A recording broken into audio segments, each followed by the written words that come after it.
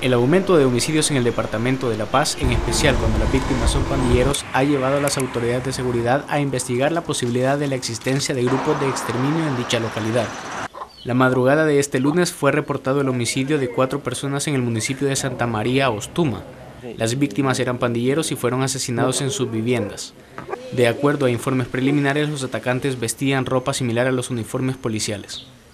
Las víctimas fueron identificadas como Miguel Antonio Hurtado y Gerardo José Jiménez, ambos de 22 años.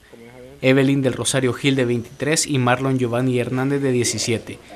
Al cierre de este informe, la policía no reportaba capturas por este hecho.